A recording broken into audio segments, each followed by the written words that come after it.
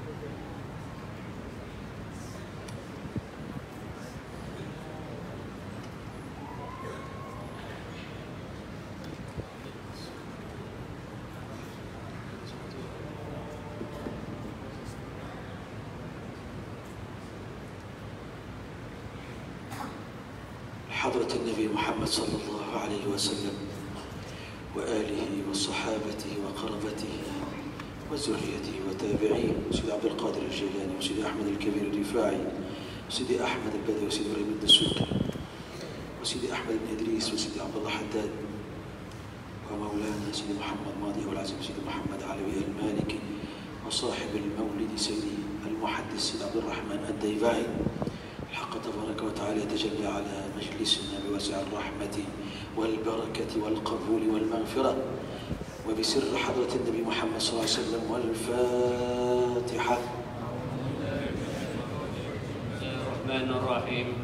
الحمد لله رب العالمين. الرحمن الرحيم. مالك يوم الدين. إياك نعبد وإياك نستعين. اهدنا الصراط المستقيم. صراط الذين أنعمت عليهم غير المغضوب عليهم ولا الضالين. يا ربي صل على محمد يا ربي صل عليه وسلم.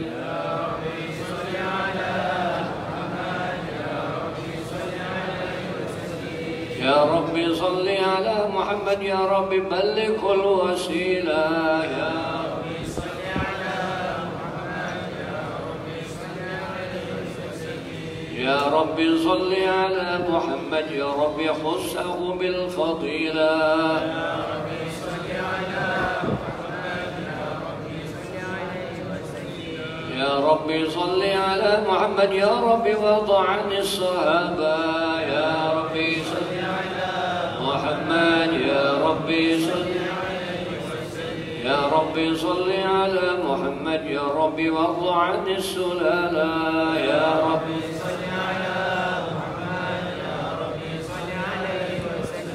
يا ربي صل على محمد يا ربي وارض عن المشايخ يا ربي صل على محمد يا ربي صل يا ربي صل على محمد يا ربي فارحم والدينا يا ربي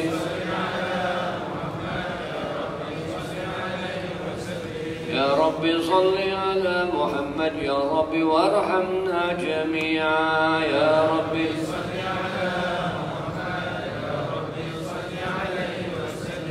يا صل على محمد يا ربي وارحم كل مسلم.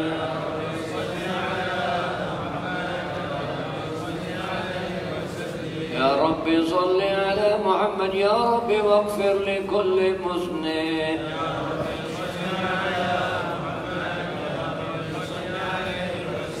يا رب صل على محمد يا رب يا سامع دعانا. يا ربي صل على محمد يا ربي صل عليه وسلم يا ربي صل على محمد محمد يا رب لا تقطع رجانا يا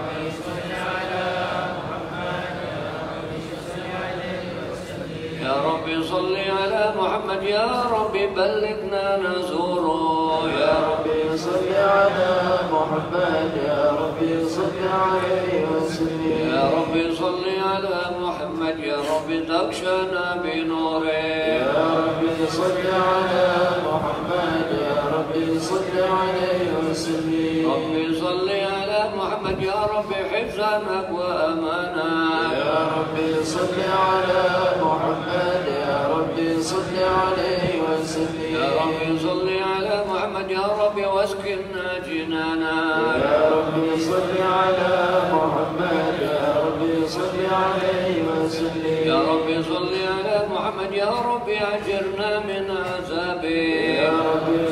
على محمد يا ربي صل عليه وسلم يا رب صل على محمد يا رب وارزقنا الشهادة يا ربي صل على محمد يا ربي صل عليه وسلم يا رب صل على محمد يا رب حثنا بالسعادة يا ربي صل على محمد يا ربي صل عليه وسلم يا رب صل على محمد يا رب واسل كل مسلم. يا ربي صل على محمد يا ربي صل عليه وسلم. يا رب صل على محمد يا رب واغفر.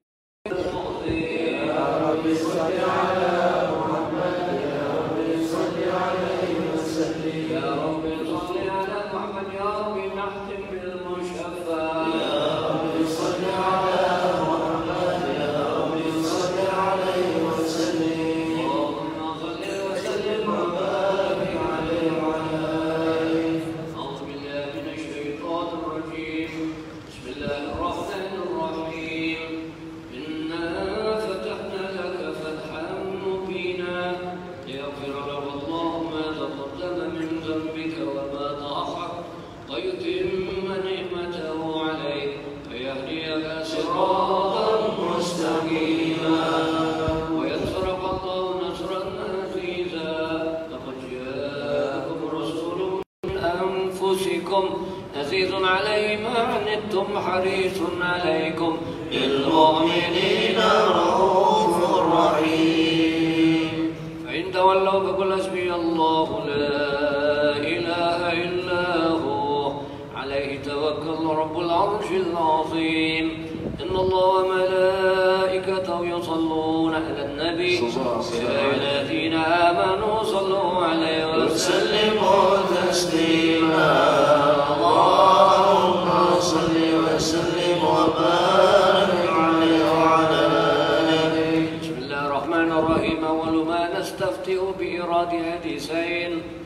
ورد في نبي كان قدره عظيما ونسبه كريما وصراطه مستقيما.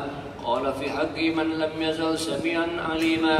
إن الله وملائكته يصلون على النبي. يا أيها الذين آمنوا صلوا عليه وسلموا تسليما. اللهم صل وسلم وبارك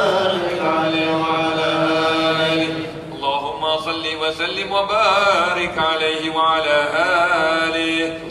الحديث الأول عن بحر العلم الدافق ولسان القرآن الناطق أوحد علماء الناس سيدنا عبد الله بن سيدنا العباس رضي الله عنهما عن رسول الله صلى الله عليه وسلم أنه قال إن قريشا كانت نورا بين يدي الله عز وجل قبل أن يخلق آدم عليه السلام بألف عام. يسبح الله ذلك النور وتسبح الملائكة بتسبيحه. فلما خلق الله آدم عليه السلام عليه السلام أودع ذلك النور في طينته.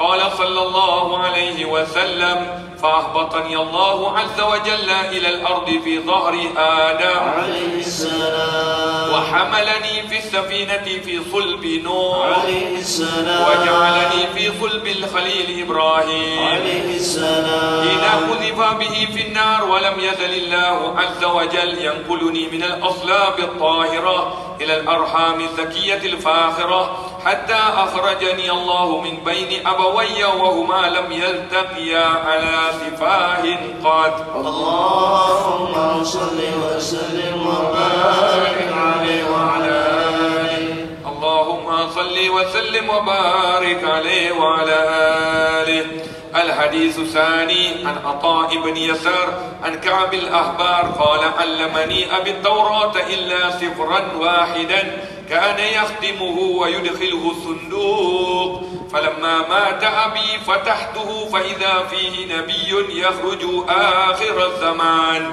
مولده بمكة وهجرته بالمدينة وسلطانه بالشام. يقص شعره ويتذر على وسطه يكون خير الأنبياء وأمته خير الأمم. يكبرون الله تعالى على كل شرف يصفون في الصلاة كصفوفهم في القتال. قلوبهم مصاحفهم يحمدون الله تعالى على كل شدة ورخاء. ثلوث يدخلون الجنة بغير حساب. اللهم اجعلنا منهم. وثلث يأتون بذنوبهم وخطاياهم فيغفر لهم. وثلث يأتون بذنوب وخطايا عظام. فيقول الله تعالى للملائكة اذهبوا فزنوهم. فيقولون ربنا وجدناهم أسرفوا على أنفسهم. ووجدنا أعمالهم من الذنوب كأمثال الجبال غير أنهم يشهدون أن لا إله إلا الله وأن محمد رسول الله صلى الله عليه وسلم. أشهد أن لا إله إلا الله وأشهد أن محمد رسول الله.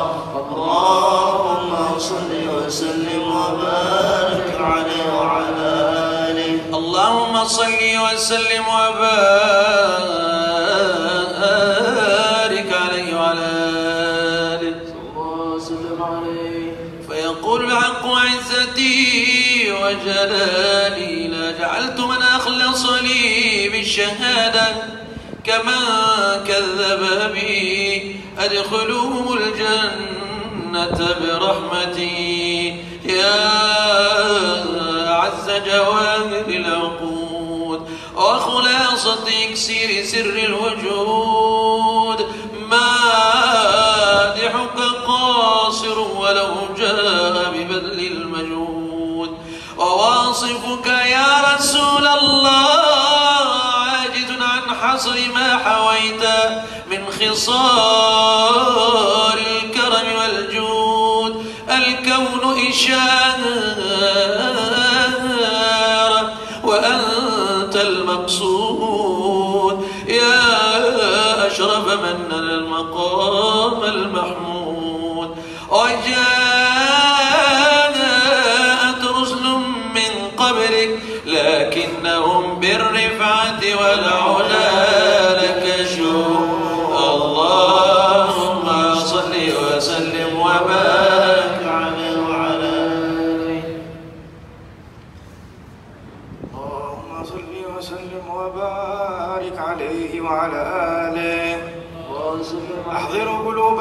يا معشر ذوي الألباب حتى أجلو لكم عرائس معاني أجل الأحباب.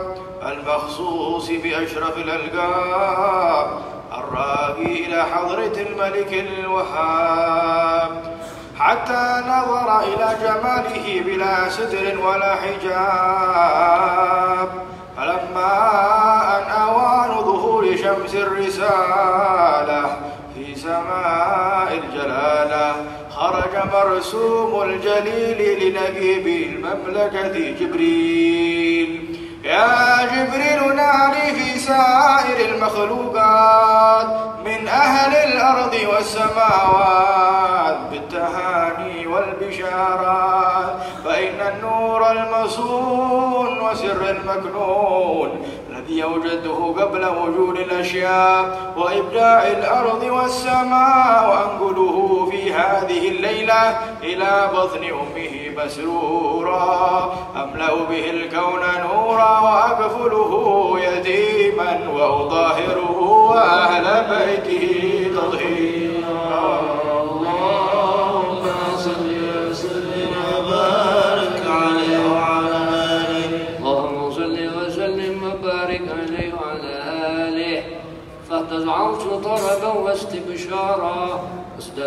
الكرسي هيبة ووقارا أمتعت السماوات أنوارا. نجت الملائكة تحليلا تمجيدا واستغفارا. سبحان الله الحمد لله ولا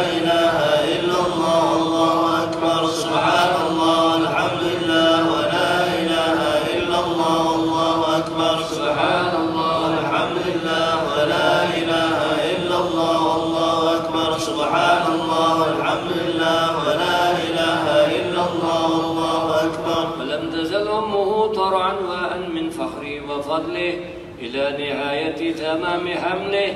لما اشتد بها الطلق باسم رب الحق وضعت الحبيب صلى الله عليه وسلم ساجدا شاكرا آمنا كان البدر في تمامه. صلى الله عليه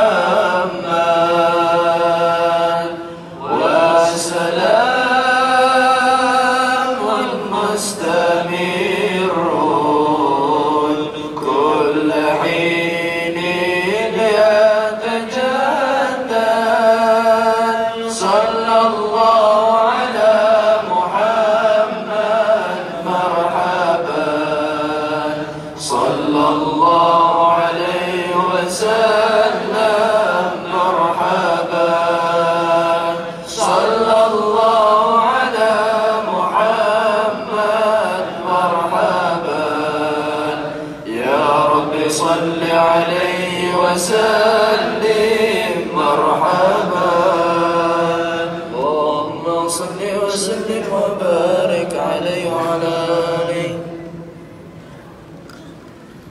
InsyaAllah doa maulid yang akan dibaca setelah majlis eh, selawat di atas atas di luar itu selesai. InsyaAllah pada waktu sekarang ni, sebelum masuk waktu isya, Alhamdulillah kita mendapat satu peluang untuk dengar satu tausiah دبي فضيلة الشيخ الأستاذ محمد بن عبد الله الأمين نبي ياسين دبي ياسن الأمين مقام الجيش مسيرك خدا مشكور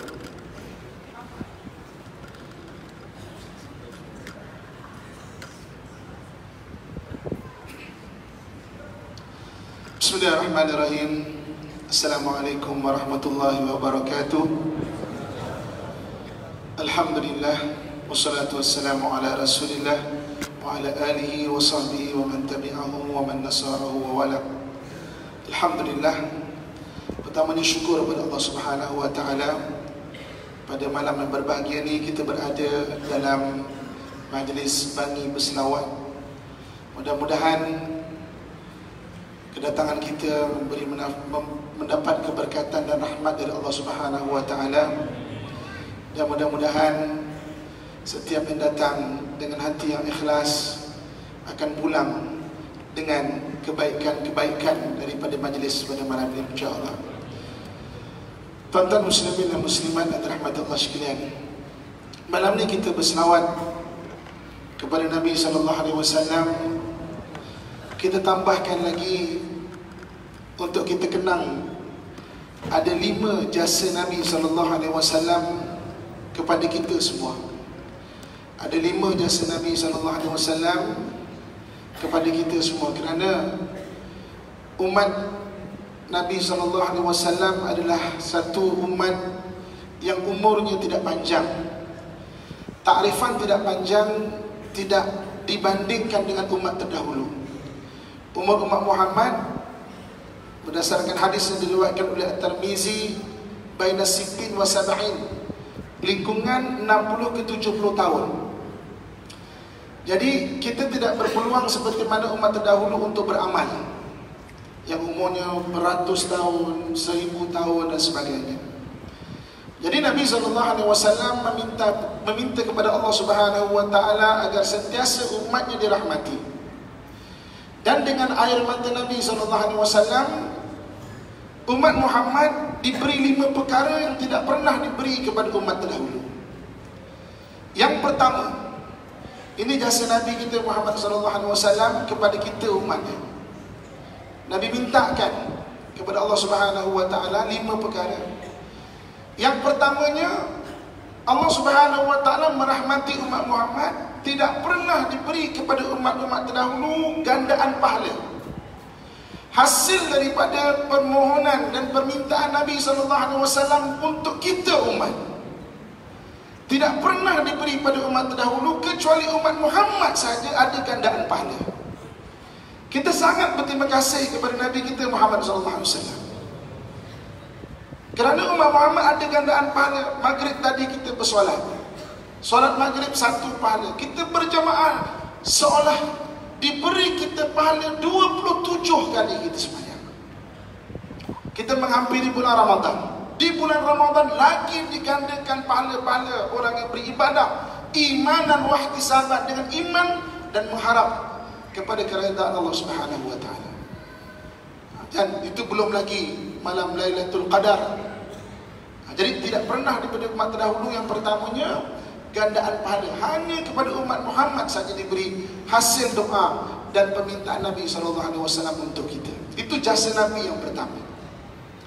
Yang kedua, jasa Nabi yang kedua tidak pernah diberi pada umat terdahulu iaitu ada umat Muhammad yang kalau dibuat amalan ini walaupun dia telah meninggal pahalanya tetap diberi seolah-olah macam dia hidup.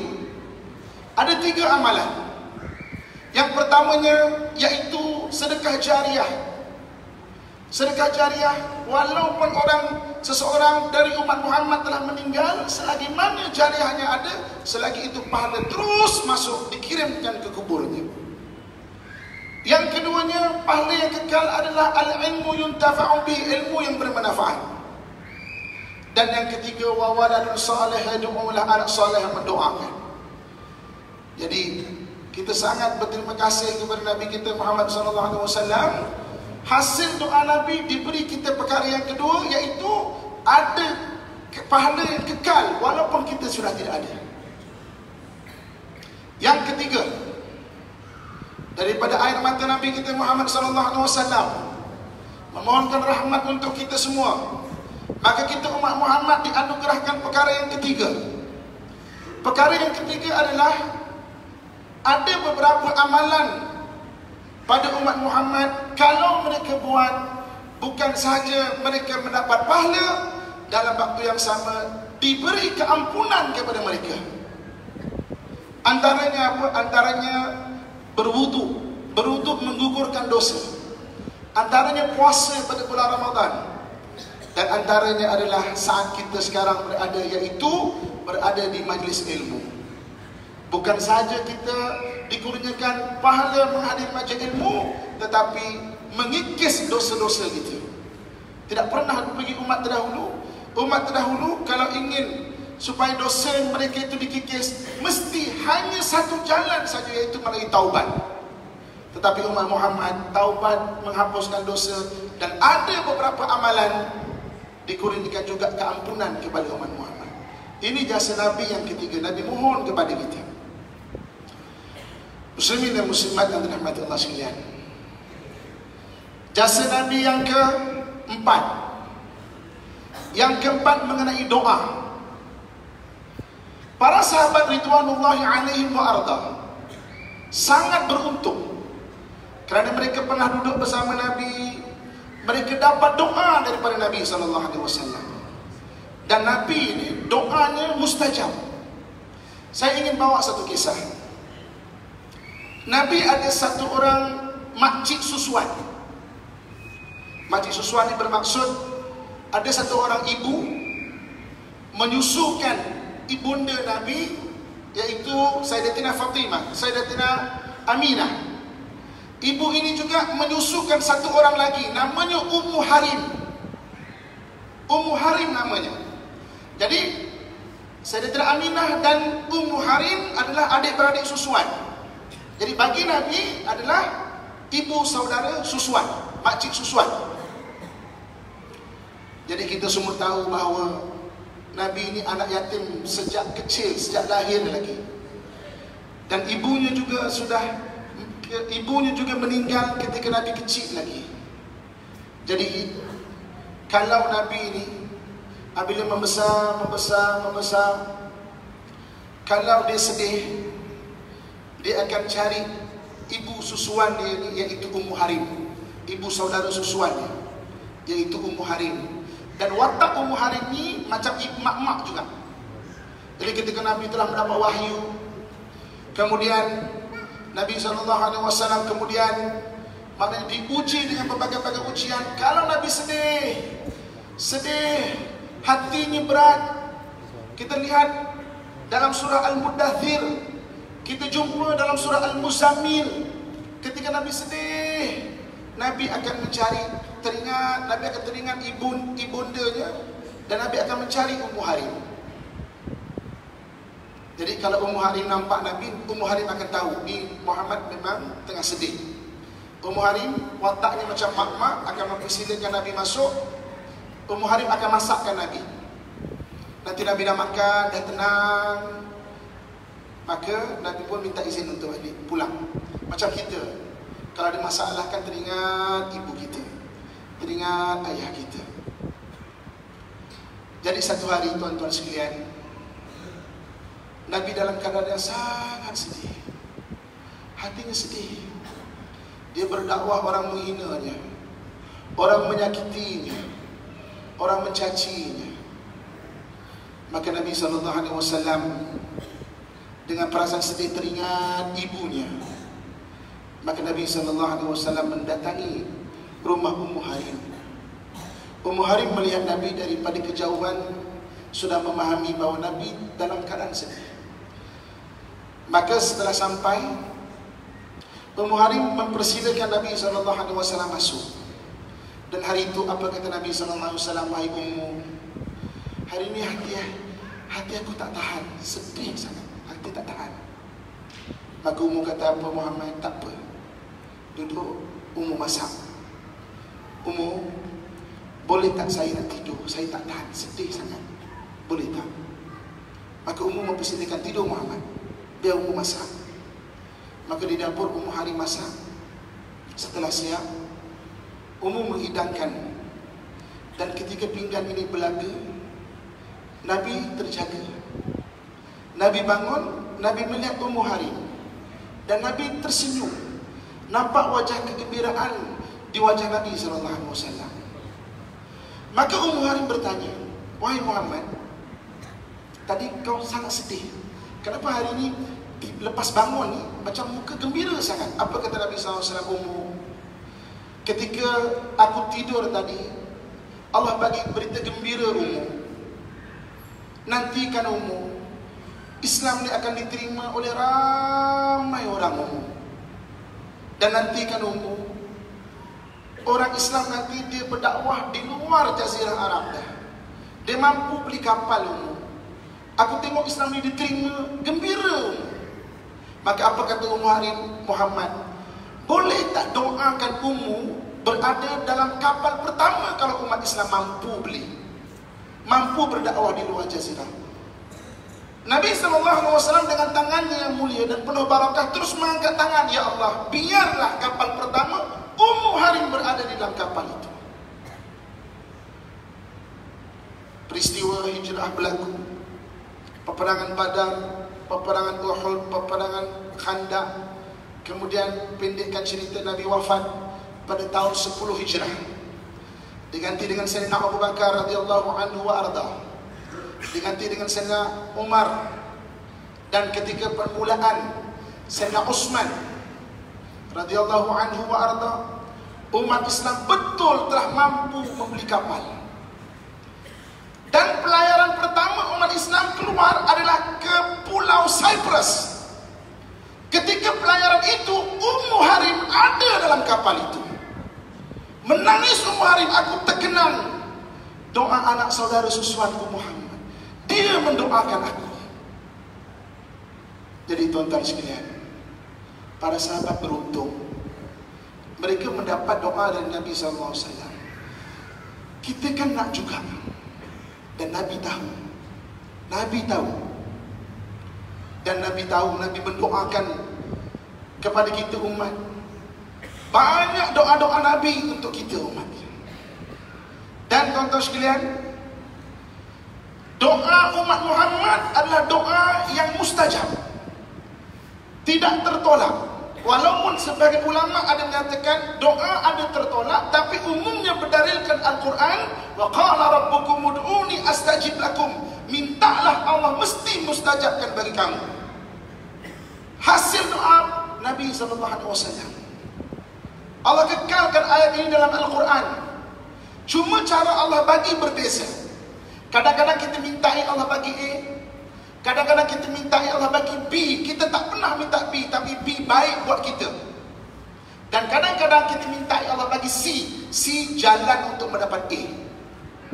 Tapi mustajab, mesti Allah terima. Ini hasil doa Nabi SAW. Itu jasa Nabi yang keempat. Dan yang terakhir, jasa Nabi wasallam. Kita sangat berterima kasih. Bergembiralah. Berselawat pada Nabi. Kerana sangat berjasa insan ini dalam kehidupan kita dalam perjalanan kita menuju akhirat. Dan yang terakhir tuan-tuan sekalian yang kelima Nabi tahu ya, Walaupun Nabi telah minta yang pertama gandaan pahala Yang kedua ada pahala yang kekal Yang ketiga ada pahala dan pengampunan Yang keempat doa-doa yang mustajab. Ada lagi umat Muhammad yang tidak buat keempat-empat benda ini Nabi tahu. Nabi tetap memikirkan kita.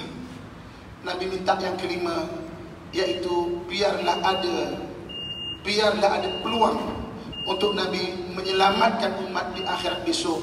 Itu dipanggil syafaat. Ini permohonan Nabi SAW Nabi tidak melupakan kita walau sampai ke akhirat jadi ini ini lima jasa Nabi SAW yang kita kena tahu kita kena kenal. Dan dengan itu kita akan lebih rasa lagi tertunggu-tunggu untuk kita berselawat. Hari-hari kita mau berselawat mau menyebut perkataan selawat. Satu perkataan yang Allah dan malaikat juga menyertai perkataan ini. Inna Allah wa malaikatahu yusalluna ala nabi.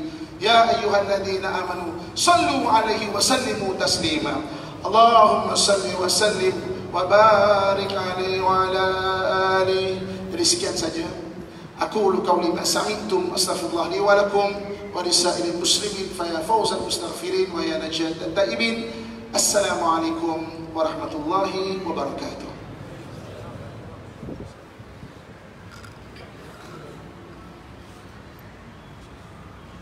Waalaikumsalam warahmatullahi wabarakatuh.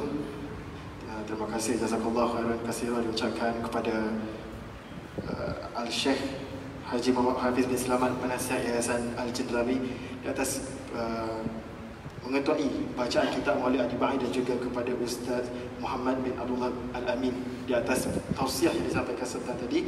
Baik insyaAllah tuan-tuan dan puan sebelum kita uh, solat isyak berjemaah, uh, saya ingatkan kepada semua peserta, uh, kita akan ada acara kemuncak selepas saja solat fardu isyak sebentar nanti. Dan kita mohon pada semua peserta untuk bersama-sama kita di Terus ke pentas utama bagi acara kemuncak serta light and sound. Kasidah dan tausah yang akan dijalankan selepas oleh Isya ini Berkumpul di pentas utama yang berada di sebelah kiri saya. Dan